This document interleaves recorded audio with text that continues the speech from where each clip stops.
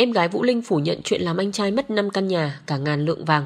Đã hơn 2 tuần kể từ ngày nghệ sĩ ưu tú Vũ Linh qua đời, những thông tin xoay quanh gia đình cố nghệ sĩ vẫn còn được lan truyền trên mạng xã hội.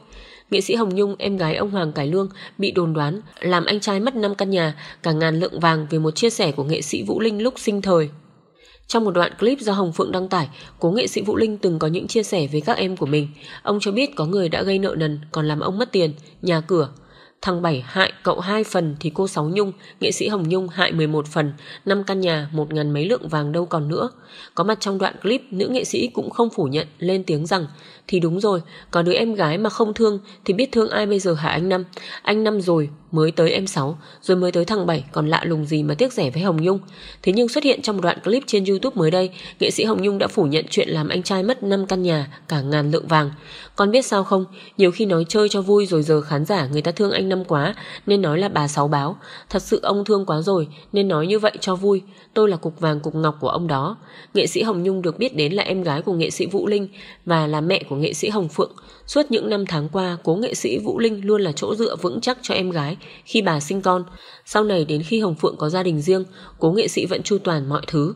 Nghệ sĩ Hồng Nhung sinh năm 1963, được khen hát hay từ năm 8 tuổi. 12 tuổi cô được mẹ cho đi học ca cải lương và 2 năm sau đó theo anh trai là nghệ sĩ Vũ Linh đi hát ở đoàn An Giang Khánh Hồng. Với danh tiếng và khả năng của mình, Vũ Linh từng đưa Hồng Nhung về các đoàn hát ở Sài Gòn để nâng. Mẹ con Hồng Phượng chửi sảng bị Hồng Loan tống hết đồ đạc trở tới quán bún bò. Cuối cùng đã có lệnh mẹ con Hồng Phượng phải dọn toàn bộ đồ đạc ra khỏi nhà Hồng Loan. Mẹ con Hồng Phượng vẫn cố chấp không chịu dọn khóa cửa để yên đó chọc tức Hồng Loan chơi. Nhà hiện giờ Hồng Loan đã làm chủ nên quyết định là của cô. Hồng Loan cho thợ sửa khóa tới phá ổ khóa cho người dọn hết đống rác của mẹ con họ lên xe ba gác cho chở tới tận nơi sản xuất. Thấy xe hàng chở đồ đạc tới tận nhà mẹ con Hồng Phượng rất bực tức chửi sảng và quyết làm cho ra lẽ. Con Loan móm hãy đợi đấy. Hồng Loan bữa nay đã khác hẳn. Cô đã học cách mạnh mẽ hơn để bảo vệ bản thân, bảo vệ chính gia đình mình. Từ nay giữa gia đình cô Sáu và chú Bảy, Hồng Loan sẽ không còn mối quan hệ nào. Bây giờ có đi ngang thì cũng là người dương nước lã mạnh ai nấy sống, nước sông không phạm nước giếng.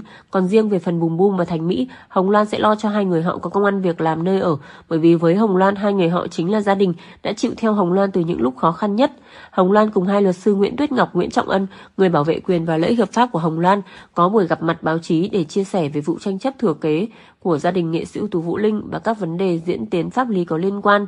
Trước đó sáng cùng ngày Tòa nhân dân quận Phú Nhuận thành phố Hồ Chí Minh đã đến xem xét thẩm định tại chỗ với đơn yêu cầu phản tố của Hồng Lan, yêu cầu bà Hồng Nhung, em gái cố nghệ sĩ ưu tú Vũ Linh và Hồng Phượng, cháu gái cố nghệ sĩ ưu tú Vũ Linh di rời toàn bộ tài sản ra khỏi căn nhà số 5 đoàn thị điểm quận Phú Nhuận. Bất động sản từng thuộc về cố nghệ sĩ Vũ Linh hiện do Hồng Lan đứng tên sở hữu. Được biết việc thẩm định tại chỗ đã hoàn thành. Phía bà Hồng Nhung và bà Hồng Phượng mang một số đồ đạc cá nhân ra khỏi nhà số 5 đoàn thị điểm. Với đồ đạc còn lại, tòa đã kiểm chứng niêm phong, lập biên bản dưới sự chứng kiến của các bên. Hiện căn nhà số 5 đoàn thị điểm đã được sang tên cho bà Hồng Lan. Trong buổi gặp gỡ báo chí, Hồng Lan nói suốt nhiều tháng qua chịu nhiều áp lực mệt mỏi. Các bài viết với nội dung như Hồng Lan là con nuôi Vũ Linh, bất hiếu nói xấu cha, không chăm cha bệnh, khiến khiến chị bị nhiều người công kích. Hồng Loan khẳng định những thông tin này không đúng sự thật. Hồng Loan bật khóc chia sẻ, Phận làm con đương nhiên phải có trách nhiệm lo cho cha rồi nhưng chỉ biết âm thầm thôi, đâu nhất thiết phải công khai. Thời gian qua tôi áp lực và căng thẳng mỗi khi đọc được những thông tin theo dệt chưa đúng về mình. Thông qua luật sư, cô cho biết sẽ nhờ pháp luật can thiệp bảo vệ danh dự của bản thân và gia đình. Hồng Loan cũng mong muốn được cung cấp thông tin chính thống, xác thực đến cơ quan truyền thông tránh những điều sai lệch. Bà Nguyễn Tuyết Ngọc, luật sư đại diện của Hồng Loan bày tỏ dư luận nên theo dõi diễn biến vụ việc, đừng làm qua vấn đề ảnh hưởng người trong cuộc. Khi được hỏi về mối quan hệ của Hồng Phượng sau mâu thuẫn, Hồng Loan nói cô buồn vì cả hai từng coi nhau như chị em, sống chung nhà từ bé, nhưng vì mâu thuẫn tranh chấp xảy ra trong vài tháng qua như giọt nước tràn ly, khiến mối quan hệ của cả hai không còn như xưa. Trước khi đưa nhau ra tòa tôi từng nghĩ hai chị em có thể ngồi nói chuyện với nhau về mặt tình cảm. Còn bây giờ đã đưa nhau ra tòa, đã kiện tụng thì như giọt nước tràn ly, tôi không còn gì để nói với Hồng Phượng. Bây giờ có gặp nhau cũng coi như người xa lạ thôi, Hồng Loan nói. Theo Hồng Loan, trong những lần gặp nhau để giải quyết việc phân chia tài sản theo yêu cầu của cơ quan chức năng, cô và Hồng Phượng dường như không tìm được tiếng nói chung. Giữa ồn ào, Hồng Loan nhận được sự ủng hộ từ các nghệ sĩ như nghệ sĩ tú Vũ Luân, Bình Tinh, Nguyên Vũ. Con gái Vũ Linh cũng tập trung công việc bán hàng online. Chị hiện cơ bản ổn định cuộc sống, kinh tế để chăm sóc các con nhỏ và lo hương khói cho ba. Về thông tin đóng MV lấn sân sang nghệ thuật, Hồng Loan khẳng định bản thân không có ý định làm ca sĩ. Những lần cô tham gia đóng MV đều được các nghệ sĩ ngỏ lời mời và chỉ nhằm mục đích kỷ niệm. Hồng Loan hầu hết chỉ hát các ca khúc nổi tiếng của người cha quá cố. Tôi muốn mọi chuyện được êm ấm để cha an nghỉ. Tôi buôn bán nhỏ tại nhà để lo cho gia đình, khói hương cho ông bà tổ tiên. Hồng Loan nói. Ca sĩ Nguyên Vũ lập vi bằng bầy kền kền, phượng ve xanh mặt, Ca sĩ Nguyên Vũ cùng phía Hồng Loan chính thức xác nhận chứng cứ phạm tội của bọn Kền Kền trả lại cho Phượng ruồi lời vu khống. Kính thưa quý vị, vào lúc 2 giờ chiều, ca sĩ Nguyên Vũ cùng luật sư và phía chị Ni xuất hiện tại nhà Hồng Loan làm việc về chuyện củng cố vi bằng xác nhận chứng cứ tố giác hành vi xuyên tạc bôi nhọ danh dự của Lũ Kiền Kền. Thời gian qua họ liên tục tấn công những người bên phía Hồng Loan. Thời gian trước vì bận rộn cho việc kinh doanh và vụ kiện của bà Sáu Bào nên phía Hồng Loan chưa có thời gian để lên cái vụ này. Giờ thì phía Sáu Bào phần nào tắt tiếng cho vụ tranh chấp tài sản, đồ thì cũng đã dọn đi một mớ. Phần còn lại thời gian ngắn nữa thôi, tòa án cũng sẽ thông báo dọn luôn, coi như Hồng Loan không cần phải lo lắng nhiều về chuyện này nữa. Nên ngày hôm nay Nguyên Vũ đã chính thức nên ngày hôm nay Nguyên Vũ chính thức thông tin vụ kiện hình sự cho vụ kiền kền có khả năng nếu nặng sẽ là tội 331 quy mô phạm tội có tổ chức, nhẹ là tội 156 quy mô phạm tội cá nhân. Chuyến này ve cũng phải tắt tiếng lên rồi. Cụ thể thế nào mời quý vị cùng đến với nội dung chi tiết sau đây. Thưa quý vị, theo như thông báo của nhà báo Song Minh thì phía kiền kền sắp tới đây sẽ ăn không ngon ngủ không yên. Song Minh thay mặt phía ca sĩ Nguyên Vũ và Hồng Loan thông báo rằng tất cả thượng tôn pháp luật Chiều nay cùng đoàn luật sư và văn phòng thừa phát lại sẽ đến nhà Hồng Loan cùng Hồng Ni và Thành Mỹ lập vi bằng những cá nhân bôi nhọ xúc phạm đến Hồng Loan và sẽ tố cáo bọn họ ra pháp luật mọi chuyện đã bắt đầu vào cuộc và mong một cái kết thuận theo lòng người. Ca sĩ Nguyên Vũ đã vào cuộc, đại diện Hồng Loan và Thành Mỹ được chị Ni làm đại diện sẽ chính thức theo đuổi vụ kiện này, quyết đưa kền kền ra ánh sáng, Phượng Ve lần này không ngồi yên được rồi.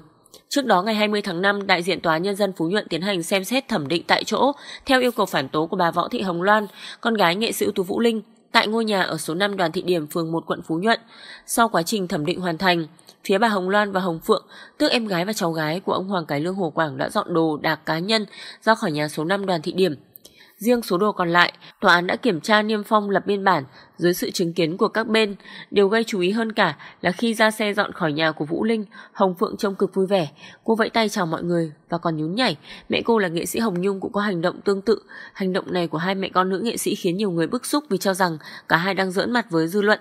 Sau khi về quán bún bò của mình, nghệ sĩ Hồng Nhung khẳng định không hề bị đuổi mà chỉ thu gom vật dụng cần thiết trong lúc chờ quá trình xét xử diễn ra. Còn Hồng Loan cũng có buổi gặp gỡ với mọi người và cho biết thời gian qua mạng xã hội xuất hiện nhiều thông tin xoáy vào đầu tư của cô, gây ảnh hưởng tiêu cực đến đời sống. Nhưng chuyện có đuổi hay không có lẽ khắp nước Việt Nam này những ai yêu quý Hồng Loan đều biết cả rồi, nên những lời biện bạch của bà Sáu Bào là hoàn toàn vô ích. Hồng Phượng vừa đến dọn nhà đợt cuối, nhà lại mất thêm một vật quý của cố nghệ sĩ Vũ Linh. Chị Hồng Loan, con gái cố nghệ sĩ ưu tú Vũ Linh mong sớm tìm được món đồ quý giá của cha là chiếc đồng hồ Rolex cha mang hơn 20 năm, thứ mà cha rất quý vì được bà nội tặng. Chia sẻ với phóng viên, chị Hồng Loan nói đây là kỷ vật quan trọng nhất của cha, được ông nâng niu trân trọng lúc sinh thời. Chiếc đồng hồ này bà nội tôi tặng cho cha, lên tới 500 cây vàng, nhưng quý hơn ở chỗ nó là kỷ vật nội tặng cha trước khi qua đời mấy tháng. Cha luôn đeo bên mình lúc đi diễn, xem nó như một vật may mắn. Hồng Loan cho biết, hôm trước khi thấy cô khoe kỷ vật này lên thì có người dành đồ cổ xác nhận giá trị của chiếc đồng hồ này. Nếu đem đấu giá thời điểm hiện tại có thể lên tới 15 tỷ, nhưng tôi không đồng ý vì nó là kỷ vật và cha rất quý nó. Gia đình nghệ sĩ ưu tú Vũ Linh xảy ra nhiều mâu thuẫn, từ chuyện hợp đồng livestream tăng lễ, xử lý tiền phùng điếu đến tranh chấp tài sản. Hồng Loan đã đến tòa cung cấp các bằng chứng liên quan đến vụ kiện thừa kế đối với tài sản của nghệ sĩ ưu tú Vũ Linh. Hồng Loan chia sẻ không muốn dính vào kiện tụng, nhưng do nghệ sĩ Hồng Nhung, em gái ruột nghệ sĩ ưu tú Vũ Linh khởi kiện, cô sẵn sàng hầu tòa để lấy lại sự minh bạch. Trước đó cả Hồng Loan và Hồng Phượng cũng tổ chức gặp gỡ báo chí chia sẻ những vấn đề quanh vụ việc. Hồng Loan nói muốn ồn ào khép lại và bắt đầu cuộc sống mới.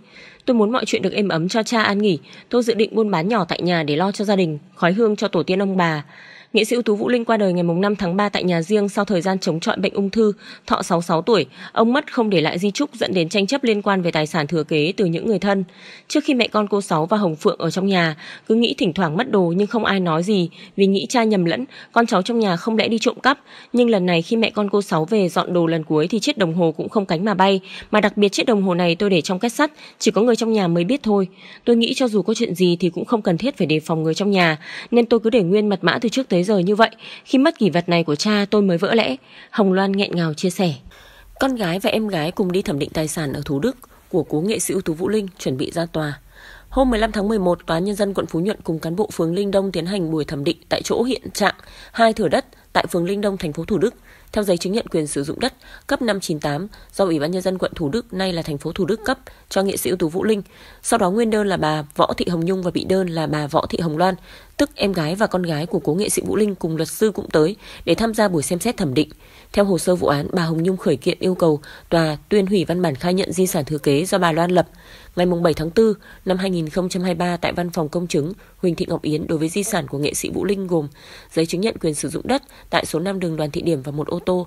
Những tài sản này đã được sang tên cho Hồng Loan, hủy phần cập nhật biến động trên giấy chứng nhận quyền sử dụng đất và tài sản gắn liền với đất do Ủy ban nhân dân quận Phú Nhuận cấp ngày 23 tháng 1 năm 2015 đối với nhà số 5 Đoàn Thị Điểm về nội dung sang tên cho Hồng Loan. Trong đơn bà Hồng Nhung đề nghị chia di sản thừa kế của cố nghệ sĩ ưu tú Vũ Linh gồm hai thửa đất tại phường Linh Đông, thành phố Thủ Đức và nhà số 5 Đoàn Thị Điểm cho bà Hồng Nhung và ông Võ Thành Nhiêu. Bà Nhung yêu cầu được hưởng một nửa. Được biết sau buổi thẩm định này, cả hai bên nguyên đơn và bị đơn sẽ tiếp tục ra tòa để xét xử tiếp theo đúng trình tự pháp luật.